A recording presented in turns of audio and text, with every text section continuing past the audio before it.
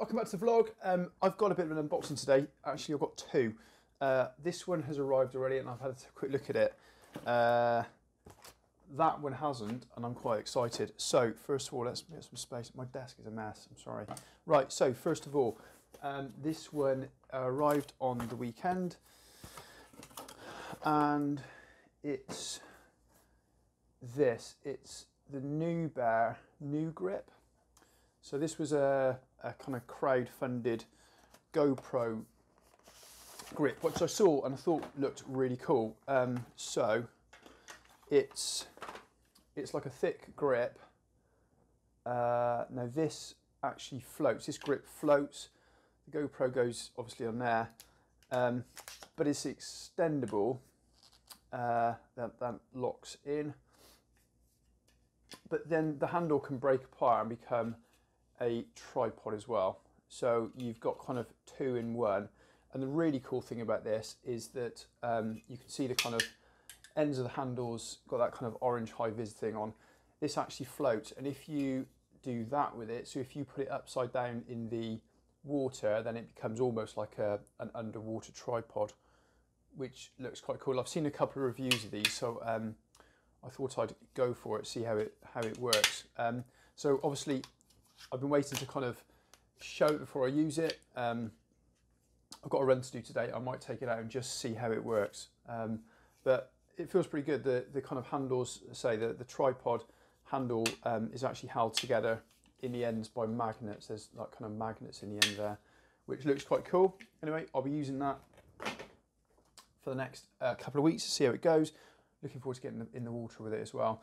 And the next thing uh, that I will have a show you of, um, race season's getting close in it, and uh, I've been looking for some socks because that's how sad I am. Uh, and I found a company in the EU, uh, in Germany, sorry, in the EU called Incylence. Uh, German company. Uh, socks are made in Italy, and they just look cool. They just look cool. So uh, this year i have obviously got my New Balance uh, trainers, which are kind of like bright green.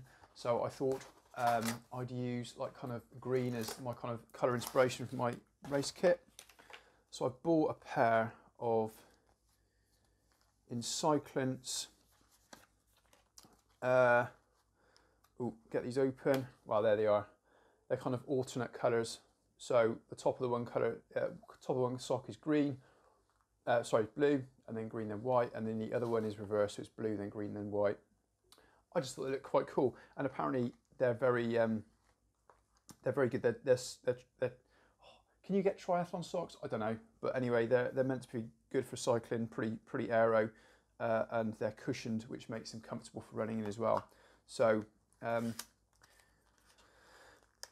we can you can never have too strong a sock game, can you? Um, but these just look quite cool. Um, I like the brand. Uh, I messaged them and they were very responsive. They got straight back to me.